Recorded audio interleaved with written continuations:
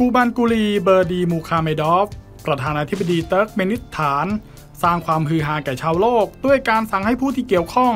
หาวิธีดับไฟในหลุมก๊าซดาวาซากลางทะเลทรายกระกุมแหล่งท่องเที่ยวสำคัญของประเทศ โดยอ้างว่า ไฟที่เกิดขึ้นก่อผลเสียทั้งสิ่งแวดล้อม สุขภาพของผู้ที่อยู่ใกล้เคียง และสูญเสียทรัพยากรธรรมชาติ ทั้งที่ควรจะได้กำไรมหาศาล เพื่อนำมันมาใช้ยกระดับคุณภาพชีวิตประชาชน หลุมก๊าซนี้มีความกว้างราว 70 เมตร ลึก 30 เมตร ว่ากันว่ามันเกิดขึ้นจากความผิดพลาดของวิศวกรโซเวียต ที่ขุดเจาะสำรวจน้ำมันในปี 2514 แล้วดันไปเจอกับโพรงที่เต็มไปด้วยก๊าซจนพื้นดินจุดที่ตั้งแท่นขุดเจาะ ยุบลงไปเป็นหลุมลึกขนาดใหญ่ เมื่อเป็นเช่นนั้น วิศวกรจึงตัดสินใจจุดไฟในหลุม เพื่อหวังให้ก๊าซถูกเผาไหม้จนหมด ไปในเวลาไม่กี่วัน แต่ทว่ามันยังคงลุกไหม้จนถึงปัจจุบัน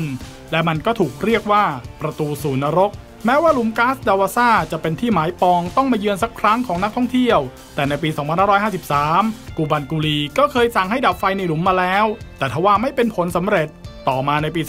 2561 ประธานาธิบดีได้ตั้งชื่อใหม่ให้แก่หลุมก๊าซเป็นประกายแสงแห่งทะเลทรายการะกุม เพื่อให้เป็นความหมายที่ดีกว่า แต่คนทั่วโลกก็ยังนิยมเรียกที่นี่ว่าประตูสู่นรก